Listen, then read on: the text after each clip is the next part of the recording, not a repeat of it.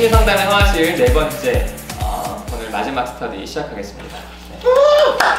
네. 발표하시죠. 네. 자, 심리 상담의 화실 오늘 마지막 어, 4장 강의하겠습니다. 자, 1장에서는 장선수 교수님이 우리 한국 사회, 한국 문화에 대한 이야기를 해주셨고요. 또 2장에서는 그런 상황에서 어, 장 교수님 당신이 어떻게 현실 역동 상담을 만들게 됐는지 그 과정에서 여러 사람들과의 만남 경험들을 써주셨고요. 3장은 이제 한국 상담계가 안고 있는 여러 가지 취약성들, 현실적인 문제들을 짚어주셨고요. 또 마지막으로는 이제 상담이 그럼에도 불구하고 어떤 부분에서 가치가 있는지 이야기해 주시는 부분이 바로 4장입니다. 자, 상담이 지닌 변색될 수 없는 가치 첫 번째는요, 실질적인 자기 이해를 상담이 도울 수 있다. 이렇게 이제 얘기를 해주시는데요.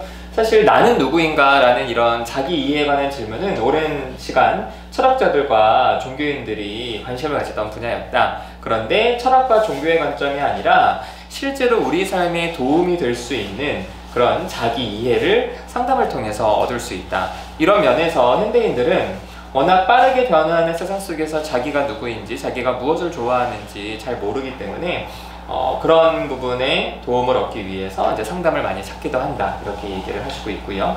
자, 두 번째로는 상담은 재양육. 쉽게 말해서 상담자와 어린 시절 부모와 관계에서 채우지 못하고 경험하지 못했던 그런 양육 과정을 반복하면서 재양육을 하면서 결국에는 관계 체험을 할 수 있는 게 바로 상담이다 이렇게 얘기를 하고 있습니다. 그래서 상담이 사, 어, 내담자를 도울 수 있는 이제 두 가지 방법이 있다라고 얘기하셨는데요. 첫 번째로는 어, 관계가 얼마나 가치 있는지 또 관계에서 어떻게 해야 되는지 그 관계의 가치와 방법을 납득시키고 설명시키는 그런 인지적인 지도 이런 것도 상담을 통해서 얻을 수 있지만 상담의 진짜 가치는 상담자와의 관계를 통해서 재경험할 수 있는 거다 이렇게 얘기를 하고 있습니다. 그러니까 어떻게 보자면 교수님께서 말한 이제 첫 번째 이 부분은요 상담자로부터 어, 내가 앞으로 어떻게 살아야 되는지에 대한 그런 좀 조언을 듣는 그런 분위기라면 이 두 번째 거는 실제로 상담자와 관계를 맺으면서 경험적으로 배우는 거라고 할 수 있죠. 그러면 상담 관계를 통한 제 경험에서는 주로 어떤 일이 벌어지느냐 상담자와의 관계를 통해서 자신이 생활을 어떻게 살 수 있는지에 대한 그런 경험도 할 수 있고요.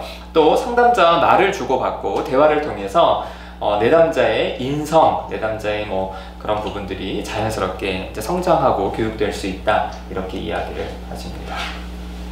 자, 또 상당히 지닌 변색될 수 없는 가치, 그 다음 가치는요, 관계에 필요한 소통을 촉진시킬 수 있는 게 상담이다 라고 하면서 장소숙 교수님은 심리 상담은 관계학이라고 할 정도로 관계를 다루는 일이다 라고 하는데요. 관계에서 정말 중요한 건 뭐냐? 소통이다. 그래서 상담을 통해서는 말을 주고받으면서 이 말이 지닌 힘을 경험할 수 있고요. 그런데 이 말이 굉장히 중요한 힘을 지니기는 했지만 우리가 대화 연습을 뭐 어디 가서 사실은 배운 적도 없잖아요. 그죠? 어린 시절 부모와의 관계를 통해서 친구와의 관계를 통해서만 어 이렇게 이제 개개인마다 좀 다른 경험을 통해서 배우게 되는데 상담에서는 아주 구체적으로 이 말할 수 있는 연습을 할 수 있다. 그래서 대화 연습의 최적지다. 이렇게 이야기를 하게 됩니다. 음, 그래서 저희 이제 누다심 센터 마음 학교에서는 그 마음 회화 교실이라고 또 있죠. 그래서 이제 마음을 주고 받을 수 있는 대화를 배울 수 있는 네, 그런 마음 회화 교실이 네, 있습니다. 그래서 이제 이렇게 우리가 보통 이제 대화를 어떻게 해야 되는지 그러니까 이런 걸 이제 상담 과정에서 좀 실수도 하고 피드백도 받으면서 내 마음을 제대로 전달할 수 있는 그러면 결국에는 관계도 좋아지는 거겠죠.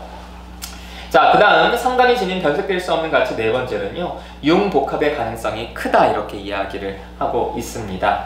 그러면서 이제 교수님이 어떤 이제 내담자들이 상담 공부를 하겠다고 했을 때 이제 물어보신다고 하시더라고요. 왜 하려고 하느냐? 그래서 앞으로 뭐 미래 유망 직종이니까 하려고 한다라고 하면은 좀 말리신다. 왜냐하면 투입되는 것에 대해서 이렇게 벌 수 있는 게 적기 때문이다라고 하지만 좀 나를 이해하고 사람을 이해하고 싶다라고 한다면 이제 한번 해봐라 이렇게 이야기를 하시는 이유가 그 사람이 뭐 변호사든 혹은 의사든 혹은 가정주부든 기업에서 일하는 사람이든 어떤 분야든지 결국에는 사람이 중요하기 때문에 상담 공부는 유익하다 이렇게 이야기를 하시면서 융복합의 가능성이 크다 이렇게 얘기를 하셨고요.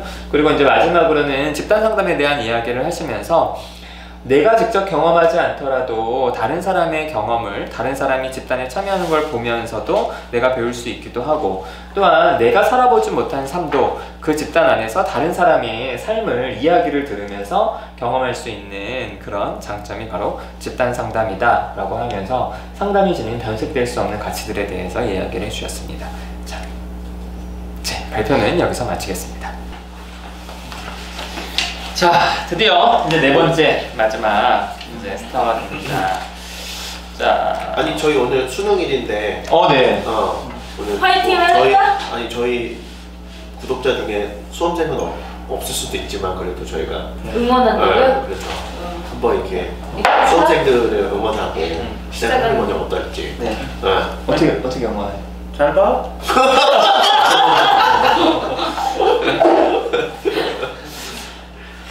자, 뭐, 그쵸. 망쳐도 인생 끝은 아니니까 그럼 저기서 그러니까 뭘 모르는 소리 하고 앉았네. 아 저도 제가 제가 뭐지 옛날에 이제 저 학원 선생님이 이제 해주셨던 말씀 중에 하나가 그거였어요. 야 재수 되게 큰 거 같지만 음, 내가 지금 와서 보니까 음. 인생에서 1년은 아무것도 아니다. 망치면 다시 하면 돼. 이런 근데 그때는 와닿았어요? 그때는 한 서른 살 되니까 안 왔더라. 그게 그게 함정이야.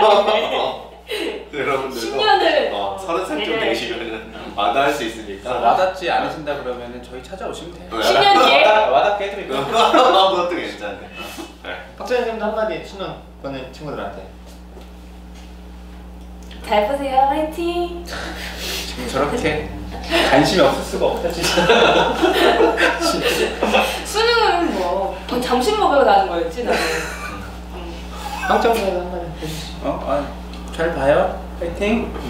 우리가 또 이렇게 멍석 깔아주면 잘 못해. 부끄러움이 많아서. 아, 나 그, 나도 그런 생각했어. 우리 내가 이제 출근하는데 우리 학- 우리 집 바로 옆에 고등학교가 있고. 나도 나도 우리 아파트 안에 있어. 그러면서 막 경찰도 오고 막 이러는 거야. 어. 맞아. 그래가지고 와 저런 분위기가 바로 세상 큰일 가 큰일 날 것 같은 분위기 조성하지. 맞아 맞아. 야, 그거 진짜 맞아, 괜찮은 맞아. 생각이다. 경찰이 왜 와? 맞아. 오토바이가 왔다 갔다 하고 경찰 아저씨. 나도 긴장되더라고. 맞아. 야. 그래, 그래, 멋지다. 그럴 수 있겠다. 진짜 맞아. 발상의 전환이다, 진짜. 그래. 맞아. 아니 진짜 저도 새벽에 5시쯤 나오는데 애들이 와 있는 거예요 이미 그 학교에 응원하러. 재밌다, 진짜. 진짜 큰일이더라고. 이렇게 다들 움직이는데. 그 근데 사실은 스무 살 때 대학을 결정하고 그거를 보통 평생 유지하는 사람은 없잖아요 거의 그렇죠? 그러니까 뭐 박재 선생님도 미술? 네. 네 그죠 미술적으로. 이번에 책 안 냈으면 사실은 미술대는 평생 묻히고 사는 거야 그죠. 아니 그러니까 저도 대학 능력 졸업하고 발굴자. 어 대학 졸업하고 나서 누다진 선생님께서 야 그림 그, 그려봐라 해서 그렸지 그 전에는 손을 안 대고 있었거든요. 그렇죠. 음. 그때 시작했지 뭐. 그러니까 진짜 뭐 스무 살 때 인생이 결정되는 건 절대 아니니까 그렇죠. 네, 그렇죠? 저희도 이 일을 또 언제까지 할지 모르지 않아요? 아 그렇죠 어. 저희도 한 10년 정도 지나면 어. 여기 또- 뭐 없을 수도 있고 그죠. 우리는 먼지? 같은 존재야. 어? 갑자기 무서워졌어. 우리 농사 지어야지 죽는다는 줄 알고 여기 아 죽을 수도 있고 어, 무서웠어요. 자, 우리 사장 이야기 한번 해보죠. 상담이 지닌 변색될 수 없는 가치. 네. 자, 저는 먼저 이제 이 부분 읽으면서 일단은 우리 챕터 중에서 제일 짧아요. 그래서 좋았어요. 나 발표 속았어. 준비해서 어쩐지 이 나이 순으로 하는 게 되게 억울하더라고요. 아니 근데 또 교수님이 사실은 좀 이렇게 좀 슬렁슬렁 쓰신 것 같아요. 어, 그런 부분들 좀 들고. 네. 그래서 그렇게, 그렇게 생각하지 않고 아, 이거, 디스에 되는 거야? 이걸 나 이걸 나보고 여러 가지 의미로 생각을 해보라. 어, 깊은 의미가 또. 그렇지. 아, 그런 또 와, 얘는 진짜 말을 잘한다. 발상의 전환을 잘해. 관점을 어, 잘해. 지금 장 교수님인데. 디스 시작해도 되는 거야? 자, 첫 번째로는 이제 실질적인 자기 이해를 돕는 상담 이렇게 이제 나오셨어요. 맞아. 아니 근데 교수님이 또 이렇게 뒤에 갑자기 또 그 상담 역사에 대해서 좀 쓰셔서 이걸 좀 왜 쓰셨을까? 어? 그러니까 뭐 이렇게 해서 이제 뭐 좀 약간 좀 그 나는 그런 생각. 왜 말끝을 흐리시나요? 아니 그냥 어, 여러 가지 결말을 주는 거야? 열어놓는? 그러니까 막 그런 그런 그렇지 않아? 막뭐 어떻게? 아니 이 상담 공부도 하기도 전에도 그랬고 음. 그 사람이 꼭 자기한테 관심이 막 있잖아요. 그왜 관심 이 있을까? 음. 그걸 막 고민했었거든. 그래서 이제 하다 보니까 상담도 공부하게 되고 네네. 지역이 있는데 요즘 이제 심취하고 있는 게 진화 심리학 관점. 어, 그렇죠. 그래서 나는 이제 그런 관점으로 대해서는 그래서 아, 자기 이해가 하는데 생존에 유리한가? 어. 자기 이해하는 게 왜냐면 생존에 유리한 방식으로 우리는 음. 진화했으니까. 아니 그러니까 그게 저는 개인적으로는 음. 사회가 너무 안정적으로 바뀌었어요. 어. 어. 그러니까 저희가 이제 그 수렵과 채직 생활을 하던 그 시대에 자기 인식은 중요해요. 근데 그게 그렇게 크게 쓰이지는 않았을 거예요. 근데 이제 사회가 점점 안정되면서 그 본능을 쓸 이제 것들이 점점 줄어드는 거예요. 근데 사실은 우리가. 본능에 많이 이제 지배를 당하고 있는데 점점 사회가 그걸 쓰진 않아도 되는 사회로 점점 변하면서 이 인지의 측면이 굉장히 강조가 되고 있는 거죠. 그러니까 그러다 보니까 사람들이 쓸데없는 생각을 계속 많이 하는 거야. 그냥 먹고 싸고 죽으면 되는데 쓸데없이 나는 누구일까 막 이런 질문을 하고 있고 물론 이제 그게 인간의 존재이기는 한데 근데 그게 요즘엔 생존에 또 필요한 것 같아요. 어떤 그러니까 예전에는 그냥 내가 필요한 거 있으면 밖에 나가서 수집해와서 그걸 체험하면 되는데 요즘에는 활용하는 물건, 그러니까 그런 소재거리들이 사람이잖아요. 사람을 활용해서 다들 이득을 취득하거나 음. 필요한 건 없잖아요. 그러니까 본인 스스로가 이용당하는 세상이 돼버리니까 거기에서 이제 이게 사람들이 자기 주체성을 가지려고 내가 살기 위해서 나에 대해서 생각하지 않을까 이런 생각도 들어요. 맞아. 음. 그래서 우리가 이제 봐야 될 행복의견에서 이제 성 예. 교수님은 그렇게 얘기하죠. 예. 그러니까 아 벌써 얘기해도 돼요? 다음 주에 안 풀어도 돼? 어. 그 공작새 같은 거지. 그러니까 나는 먹고 살만해. 어. 그러니까 나는 이제 심오하게 이해를 이제 이런 걸 해야 되는 거. 자기 이해. 너 그거 아니 사람에 대해서? 음. 이런 얘기는 난 먹고 살만한. 그러니까 에너지가 남아 도는 거야 이 새끼들이 아 그러니까 그러니까 이제 어, 어필하는 이거는 거. 대중 대중을 다 어. 하는 거죠. 아니 나도 마찬가지인 거야 그러니까 우리가 음. 근데 하여튼 이게 두 가지 측면을 보는 거야. 안정적으로 변해서 사회가 안정적으로 변해서 인간이 쓸 수 있는 에너지가 그만큼 남아 있다는 게 한 측면에 좋은 측면이 있지만 한 측면에 그거에 대한 부작용이 있는 거예요. 우리 사회를 병들게 하는. 그것 중에 하나가 사람들이 생각이 너무 많아진다는 거지. 아니면 그런 생각도 들어요. 예, 예전에 왜 그 뭐야 죽음의 수용소에서 그 비터 프랭클이 쓴 그것들 중에서 자유가 모든 것들을 다 뺏겼지만 하나 뺏기지 않은 게 인간의 뭐 태도 생각 이런 걸 얘기했었잖아요. 그래서 요즘에는 뭐라 그럴까 내 자유 의지대로 할 수 있는 것들이 사람들이 없다라고 생각을 하니까 그런 생각으로 수학기 나가 같은. 어내 생각으로 나도 좀 나를 찾고 이렇게 아 저는 그, 그 않을까 동의하진 않아요. 그러니까 싶어요. 어? 너 욕했냐? 어, 들렸어? 전에 어, 18 이랬던 것 같은데? 되게 조용히. 어, 정말 잘 듣는구나. 다행이야, 오빠만 듣게. 근데 욕 먹고 너무 좋아해. 이게 본능이거든. 그러니까 사실 빅터 프랭클이 살았던 시대를 생각해 봐야 돼요. 음, 그러니까 사실 생존이 넘나드는 시대야. 음, 그러니까 그때는 의미가 필요했던 거예요. 근데 지금은 의미가 너무 난무하는 시대야. 본능이 필요해 지금 시대에는. 저좀 이렇게 생각을 해요. 음. 어 너무 의미가 난무하다 보니까 사실 사람들이 더 혼란에 빠지는 것 같아요. 음. 그래서 우울한 사람들이 많이 늘어나는 것 같아. 음, 어. 그것도 인정해. 근데 이제 그 여기 이제 교수님이 지금 이제 이런 얘기 쓰셨어요. 사람은 그저 배불리 먹고 사는 정도의 생활에 만족하지 않고 음. 좀더 나은 생활을 꿈꾸는 존재다. 근데 사실은 이제 우리 계속 얘기했듯이 시대가 힘들고 그렇죠? 먹고 사는 게 힘들어지면은 생각할 필요 없고 아, 그렇죠? 먹고 사는 거 얘기해야 되는데 우리의 삶이 좀 이제 편해지니까 이런 부분이 더 많이 강조가 되는 거죠. 그러니까 특히 요즘에는 그런 것 같아요. 제가 옛날에 이제 2006년, 7년에 이제 책을 내고 이제 강의를 이렇게 좀 다녔을 때만 하더라도 이렇게 강의가 많이 요구되는 때는 아니었어요. 음. 근데 그 몇 년 후부터 이제 미국에서는 테드 음. 음. 막 음. 뜨고 우리나라에서 막 세바시 뜨고 하면서 요즘 아무튼 이 강사들이 굉장히 많아. 근데 난 이제 이런 걸 보면서 아 사람들이 이런 강의를 통해서 자기 자신이나 세상을 이해하려는 그런 부분들이 이게 시대적으로 점점 더 커지는 거 이렇게 좀 느끼더라고요. 그렇죠. 음. 맞죠. 그러니까 그런 강의를 들으면 뭔가 자기를 이해하는 것 같잖아.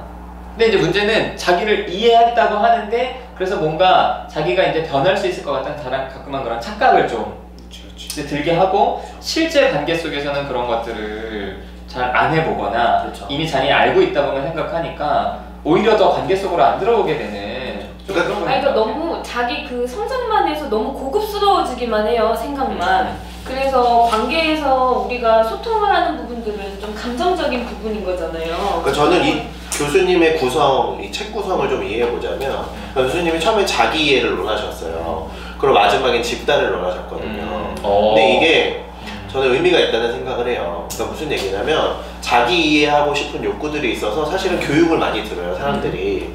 근데 거기에서의 단점은 아까 이제 누나 선생님이 말씀하신 대로 경험적인 측면이 있지만 이 경험적인 측면이 우리한테 알려줄 수 있는 측면은 그거예요. 맹점. 음. 우리의 맹점을 봐야 우리가 사실은 실질적으로 발전을 할 수 있다는 거예요. 근데 자기의 욕구가 있어서 그걸 궁극적으로 실현하기 위해서 맹점을 봐야 하는데 그 맹점을 볼 수 있는 게 상담의 형태로는 집단 상담이다. 그러니까 이 두 가지가 조화를 이루어야 한다. 저는 이렇게 교수님의 의- 그런 의도를 가지고 이거 책 구성을 하셨다는 생각이 들거든요. 그래서 근데 네, 참 함정이 사람들이 자신한테 맹점이 있다라는 걸 인식을 못해요. 맞아요. 어, 그것 때문에 그 맹점을 알고 파악을 해야 된다라는 생각이 없으니까 음. 나 혼자 공부하고 교육받는 거죠. 그렇죠.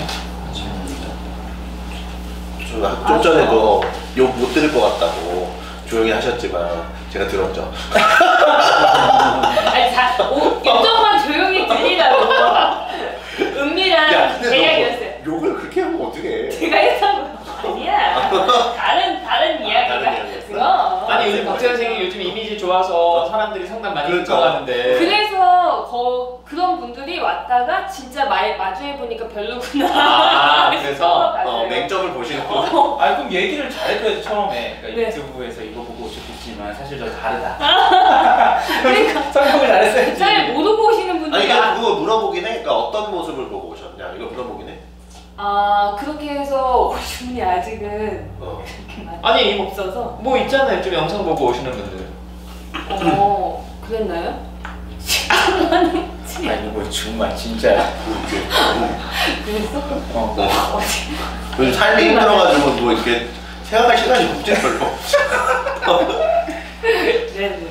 그다음 요 자기 이해에 대한 질문이 넘어가고 나서 이제 제 양육인 관계 체험을 시키는 상담인데 사실 저는 이 부분 읽으면서 좀 아쉬웠어요. 왜냐면 네. 교수님이 이제 두 가지를 얘기하셨잖아요. 하나는 지도하는 인지적인 지도가 있고 두 번째는 관계 경험이다. 네. 근데 관계 경험에서도 교수님이 이야기를 하신 부분이 사실은 이제 부모 자녀 관계를 이야기하시면서 뭐 이제 재양육 이렇게 이제 음. 여기에 포커스를 맞춰서 뭐라 그럴까 하시긴 하셨는데 음. 아무튼 왠지 이제 요 재양육 부분을 뒤에 쓰시면서도 여전히 좀 인지적인 지도 부분이 음. 좀 이렇게 좀 언급이 돼서 음. 사실은 한편으로 이제 교수님이 아무래도 연세도 있으시고 이렇게 부모로서 그런 역할을 해주시는 면에서 이렇게 제 양육이기도 하지만 우리가 좀 우리 누달 센터에서 하는 그런 제 경험은 좀 이렇게 동등한 관계에서 하는 거잖아요. 그래서 그런 부분이 저는 약간 좀 아쉽다. 어? 아쉬운 거 얘기해도 되는 거죠? 아니 우리는 우리는 뭐 얼- 얼마든지 솔직하게 어. 그렇죠? 어, 존경하는 교수님을 마음으로 존경하는 어. 마음으로 제가 교수님을 존경하는 마음으로 아쉬웠던 점을 좀 말씀드립니다. 그러니까 교수님의 이 인간에 대한 이해가 좀 얕으시다. 어? 그러니까 현실감은 있으시지만 인간에 대한 본질적인 이해가 좀 얕으시다. 네 교수님 좀- 이거 보지 마셔야 되는데. 그러니까 뭐냐면 아, 너, 너 다시 오빠 다시 PD님한테 연락하는 거 아니야? 그 부분을 저는 주세요. 아니, 그러니까 저는 그러니까 이렇게 말을 좀 정정할게요. 그러니까 교수님이 인간에 대한 이해가 얕다기보다는 그러니까 어찌 보면 이렇게 한정된 이 책 안에서 그 많은 이야기, 그러니까 인간이 어떤 존재인가만으로도 한 권의 책을 쓸 수 있는데, 그러니까 사실은 교수님은 그거를 상담에 관한 것들을 현실적인 상담을 사- 어, 속에서 인간이 어떤 존재이고 무엇이 필요한지를 논하다 보니까 그거에 대해서 너무 좀 이렇게 짧게 기술을 하신 게 아닌가. 그 부분이 좀 아쉬웠어요. 그러니까 아까 말씀한 철 그러니까 그 확철한 선생님이 좀 표현하셨던 대로 생리적인 측면을 음, 좀 간과하고 계시고 음. 인간이 가지고 있는 기본적인 동물적인 뭐 동물이라고 표현하면 좀 그렇지만 동물적인 본능적인 측면들 이런 것들에 관해서 조금 이제 그 이해가 부족하셨는지 아니면 지면이 부족하셨는지 모르겠지만 그런 부분이 좀 빠져 있고 그리고 그런 좀 그 뭐라 될까요? 아까 좀 표현하셨던 대로 그런 경험적인 측면들을 상세하게 기술하시지는 못하셨다. 네, 네. 좀 이런 측면이 좀 아쉬움이 좀 있는 것 같아요. 네.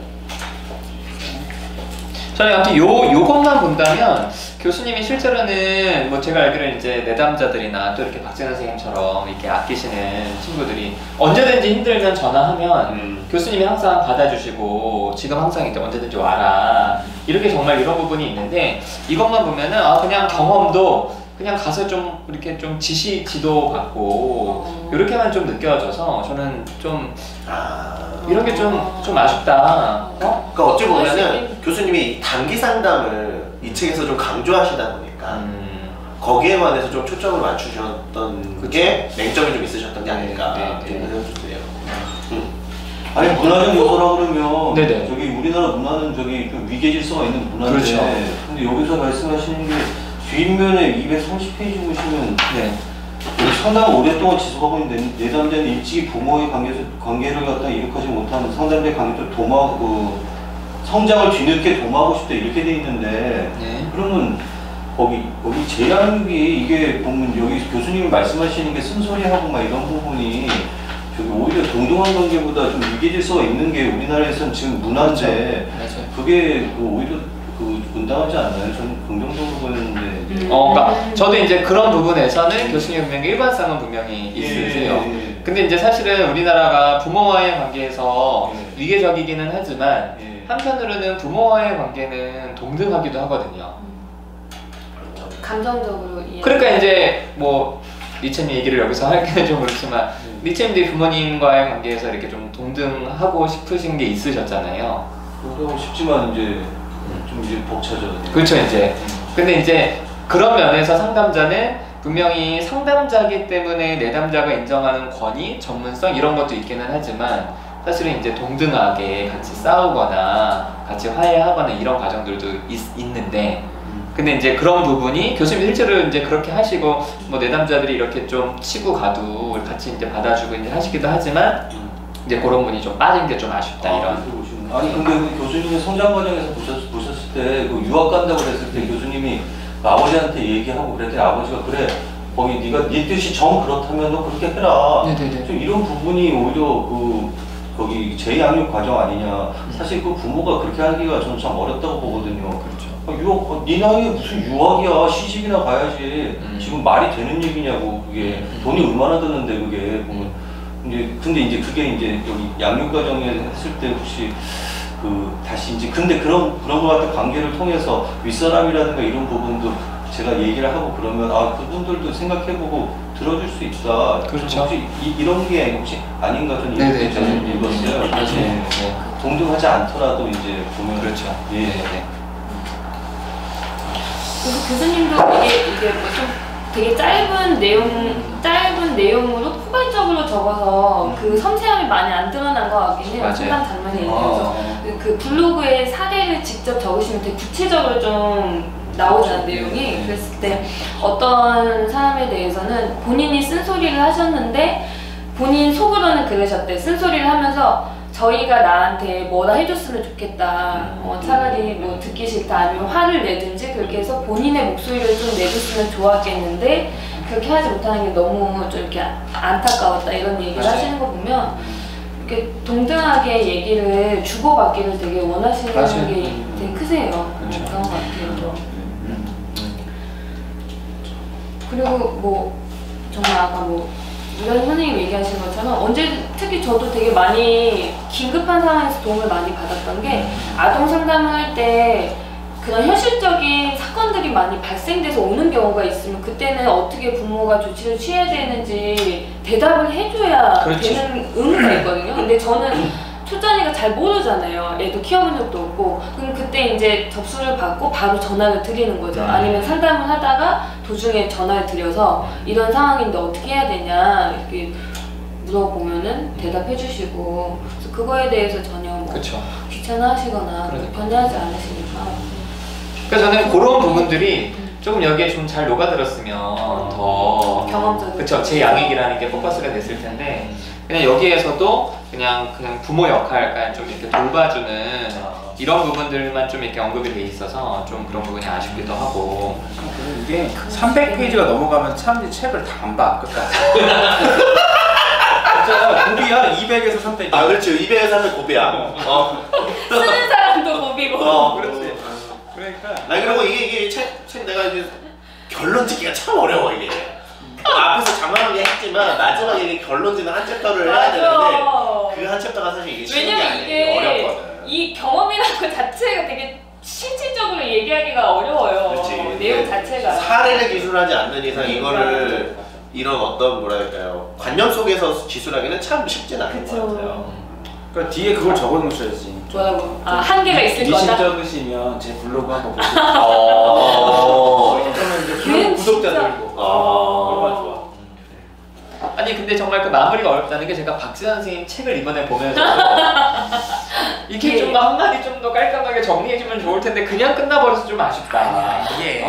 어? 이게 시리즈가 있는 거야. 아 그래? 어. 아 기- 기획해 주셔서 저는 아, 저는 보고 기획을 했지. 어 그러니까 어, 지금 바로 전화가 다섯 명, 여섯. 명 나왔잖아. 음. 그러면 이제 또네 명, 다섯 명에서 열 명을 만드는 거야. 어. 그래서 이제 2탄은 이제 또, 또 다른 이제 사람들, 하고. 네 명, 다섯 명 하고, 그 다음 3탄에서 그 사람들이 모여서 집단하는 야. 거지. 각각의 그 주인공들을 깜짝 놀랐어 야. 네. 아니 어, 읽자마자 바로 전화를 하더라고요. 내가 피드백할 게 있다 하면서 제안을 하더라고요. 괜찮지?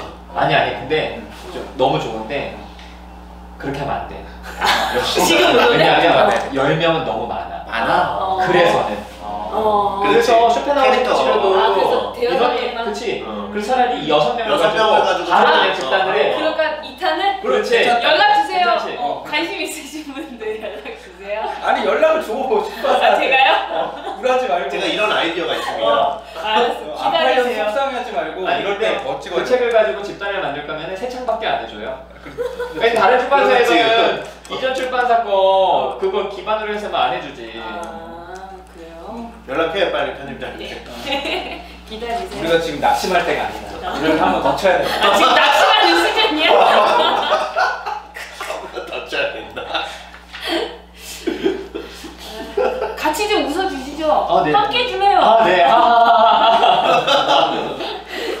저는 이 부분 아무튼 또 보면서 저희 이제 특히 뭐 이화 선생님 또 박세현 선생님, 황철현 선생님 이제 개인 상담 이렇게 하시는 거 이렇게 보면은 이분들도 아무튼 시도 때도 없이 연락도 받으시고 또 이화 선생님은 또 내담자 분들이랑 또 밴드 음. 이런 것도 이렇게 하시잖아요. 그러면서 이렇게 정말 제 양육, 그러니까 상담자와 이렇게 정말 일상에서도 어떤 포인트가 있을 때마다 이렇게 닿을 수 있다는 거는 굉장히 또 중요한 또 상담의 역할 같아요. 나 이거 상담하면서 알았어. 어떤 거를? 가족은 원래 있는 게 아니라 만드는 거라고. 어. 가족이 만들어져. 이거 가족 오, 이렇게. 우주 갔다 오더니 야, 너- 피부해졌다. 좀 좋다야. 어. 아니 전 보러 갔는데 그랬대 어디 와이프가 전 보러 갔는데 아니 아니 상담하시는 분이 와이- 거야? 와이프가 와이프. 와이프가 결혼하기 전에. 아, 아, 뭐, 전에. 돈은 못 버는데 존경은 받을 거라고 어. 내가 진짜 싫어했거든. 아 근데 그게 맞는 것 같기도 해. 어 존경. 그러니까 내가 볼때 체질이야 이렇게 돈은 못 버는 게 체질이야. 저런. 근데 이제 문제는 수많은 상담자들이 요즘 특히 이제 젊은 상담자들은 되게 거리를 계속 두잖아요. 아니 심지어 내담자가 자살 충동이 있을 때도 상담자한테 연락할 수 있게 개인 전화번호도 공개하지 않는 상담자들이 너무 많고. 그런 거 보면은 진짜 너무 이렇게 상담이 정말 그런 현대사회의 어떤 전문직 중의 하나로 단지 어떤 직업적인 부분들만 강조가 되고 이게 너무 서비스에만 국한돼서 진짜 심리 상담의 어떤 본질인 제 양육, 관계 경험을 좀 못하지 않나 그런 부분들이 좀 속상하더라고요. 근데 이런 거를 아무도 알려주지 않아. 그러니까. 아니 근데 나는 대학원 다닐 때 음. 분명히 이제 내 남자한테 이렇게 그렇게 힘든 상황에서는 항상 연락할 수 있어야 된다고 나는 수업을 들었거든. 아 좋은 수업이. 아니 그 슈퍼비전에 그렇게 안 들으셨어요 수업이나? 저희 저야 뭐 슈퍼비전이 위기 상황에 연락할 수 있는 연락처를 이제 남겨야 되는데, 그러니까 이게 두 가지의 이 뭐랄까 가치가 충돌을 하는 거예요. 그러니까 상담자가 개인의 사생활을 보호해야 한다는 이 가치와 그리고 내 남자를 도와야 한다는 이 두 개의 가치에 어느 선에 우리가 이, 이 조화를 이룰 것인가 이거를 우리가 고민을 해야 되는데 요즘 시대는 사생활 그러니까 상담자 보호가 좀 이게 방점이 좀 찍혀 있는 것 같아요. 어떤 이유에서인지는 모르겠지만 그러다 보니까 이제 그런 측면을 그리고 그뭐 뭐 이게 왜 시작된 건지 모르겠는데 상담자와 내담자 간의 관계적인 그 거리를 유지하는 그러니까 이, 이 거리가 가깝든 멀든 간에 그런 그러니까 이거 진짜 재앙역의 과정인 거죠. 사실은 이제 어려서 그 적절한 관계의 그 거리를 경험하지 못했기 때문에 내담자들이 많이 힘들어하다 보니까 상담자들이 일정한 거리를 유지해야 한다는 게 뭐, 뭐 정신분석에서 이제 비롯된 거겠죠 아무래도.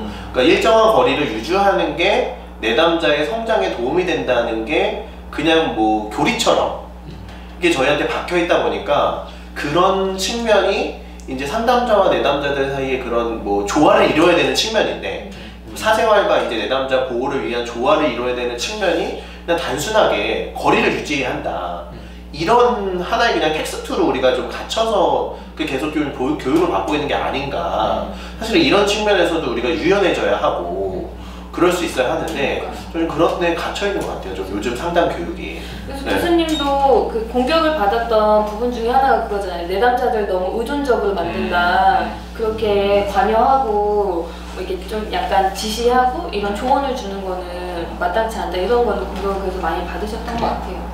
근데 그거가 그게 사실은 그러니까 우리나라의 역사가 있어요. 그러니까 우리나라는 기본적으로 가족 간의 관계가 너무 가깝다 보니까 그 가까운 관계에서 상처받는 경우가 굉장히 많은 거예요. 그러다 보니까 너무 멀어져 또. 그래. 그럼 또 외롭고. 그래서 이 적절한 선을 찾는 과정이 이제 굉장히 좀 어려운데 그러니까 그런 데서 상처를 받다 보니까 상담자들도 그런 상처가 있단 말이에요. 그렇죠. 그러다 보니까 아 적절한 거리를 유지하는 건 중요해 라는 어, 교리만 있는 거야 어찌 보면 근데 그 과정으로 어떻게 가야 하는가를 생략하고 있는 경우가 많은 것 같아요 근데 그래서 어제도 제 내담자 중에 하나가 상담이 도대체 뭐냐 어. 어 이렇게 상담하는 게 맞냐 어. 왜 본인을 얘기해도 본인 된대? 어? 얘기해도 된대요? 아니 뭐 그렇게 개인 얘기를 아, 할건 네. 아니야 그러니까 그런 질문을 했어요 어. 그러니까 어떤 거냐면 예전 상담자들은 자기한테 너무 거리를 둬서 자기가 너무나 외로웠고. 속상했다 외롭고 어. 속상하고 내가 다가가면 상담자가 거부를 했다는 거예요 어떤 구체적으로? 어? 그러니까 마음을 열려고 얘기를 하면 너무 가까이 오지 마라 그래. 이런 피드백을 계속 받은 거죠 상담자들한테 아니 저렇게 피드백 하는 분들 되게 많아요. 얼마 전에도 제 블로그에 어떤 분이 제가 이제 상담자가 미울 때 이런 얘기를 썼더니 이제 이런 얘기를 해도 되냐 그래서 해도 된다 그랬더니 이분이 이제 마지막에 그 얘기를 했더니 어 그건 네 생각이고 무슨 어. 얘기? 그러니까 이제 뭐 상담자에 대한 얘기를 선생님 너무 화가 나고 선생님 나한테 아. 서운하고 이제 이런 얘기를 했더니 어뭐 네가 그건 네가 그렇게 볼 수 있다. 뭐 그거는 네 거다라고 이렇게 어 거리를 이제 두니까 이 사람이 너무 당황스러웠다고. 이런 얘기를 했는데 내 글을 읽고 이걸 해도 되는 거냐 이렇게 물었길래. 어. 너무 화가 나서. 그거는 상담자가 그, 그 부분에 대해서 같이 이야기를 하고 충분히 본인의 이야기를 공감해주고 소통할 수 있는 너무 중요한 건데 그건 그 상담자가 준비가 안 된 거다. 이제 이렇게 이제 얘기를 했다고 하더라고요. 그래서 너무 거리두는 사람들이 네 그렇죠 그래서 자기 진짜 관계는 어떻게 하나 싶어요. 그런 상담자들은. 관계 못 할 거예요 아, 그러니까 도대체 어떻게 하길래 그렇게 감정적으로 나한테 서운하다고 얘기하는 사람한테 그건 네 몫이다 이렇게 말할 수가 있나 듣는 사람의 마음을 안다, 안다면 그렇죠, 그렇게 그렇죠. 말을 못 할 텐데 그 나는 그 그런 생각을 했어. 옛날에는 이제 그런 사람이 비난을 했지. 음. 비난을 하다 보니까 이제 왜 그럴까 궁금해지는 거야. 음. 그 사람 개인의 문제로만 가지고 오다가 그러니까 이게 또 나는 또 구조의 문제지 않을까. 어. 그러니까 우리나라는 위계적인 거잖아. 네. 그래서 우리는 개인의 역할이 중요한 게 아니라 그러니까 회사에서처럼 보고서 올리듯이 그러니까 책임은 다 연대 책임이고 위에 사람만 책임지고 그렇지 그러니까 이런 게 익숙하다 보니까 상담자는 역할이 중요한 건데 자기에 대해서 역할에 대해서 고민하지 않고 슈퍼바이저 찾고 그냥 정해져 있는 위계에 따라서만 기계적으로 그 이런 이런 측면을 좀 벗어날 수가 참 어- 어렵겠다. 그럴 수도 있겠네요. 음. 그래서 제가 그때 내 남자한테 어떤 얘기를 해줬냐면 제가 이제 아이 키우는 얘기를 좀 해줬어요. 음. 그러니까 그래 네가 네가 그래서 그것 때문에 힘들었다는 것도 알고 그래서 제- 저는 다가가려고 하는 내 남자가 계속 어, 부담스러워하는 아, 거예요? 부담스러워 하는 거예요. 그리고 이게 과연 상담이 맞냐? 예전 상담자들은 이러지 않았는데 물론 거- 본인이 거기에 대한 상처가 있으면서도 재밌다. 어, 막상 이렇게 어, 막상 들어오면은 부담스러워. 어 자기는 이, 그러니까 단계가 있다. 좀 천천히 와달라 이렇게 이제 얘기를 하는 거예요. 그래서 제가 그런 얘기했죠. 그러니까 네가 두려워하는 게 뭐냐? 관계가 가까워졌을 때, 그러니까 독립심을 가져야 되는 거 아니냐 서로 간에 내가 너무 의지하게 될 것 같다. 이거를 얘기를 하더라고요. 두려워하더라고요. 많은 이제 그 관계에서 많이 두려워하는 게 의지하고 의존하는 게 자신의 개성을 잃어간다라고 이렇게 많이들 이제 그 뭐랄까요? 네. 그냥 좀 OX처럼 그렇죠. 이렇게 생각하는 경우들이 많이 있어요. 그리고 실제로 그렇게 될 수도 있고요. 그런데 사실 얘가 이제 아이랑 놀 때 얘기를 해줬어요. 그러니까 내가 아이랑 놀 때는 내가 진짜 힘든데 왜 그러냐면 아이는 정말 나한테 어 나한테 전적으로 의지한다. 혼자 놀지 않는다 절대. 내가 진짜 집에 갔을 때 제일 힘든 말이 아빠 공룡놀이 하자. 아빠 동물놀이 하자.